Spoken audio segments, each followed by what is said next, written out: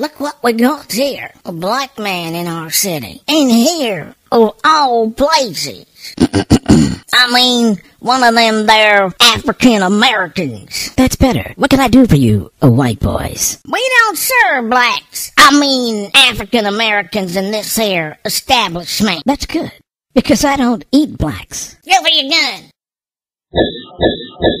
Damn, he's fast. Hey, we need a sheriff in this town. You mean like in the heat of the night or blazing saddles? More like blazing saddles. What happened to the other sheriffs in this town? If you take the job, you find out. Do you want the job or not? Good pay? I can do what I want and have women who love a man with a badge? Sure. Yeah. Uh-huh. Anything you want. Anything.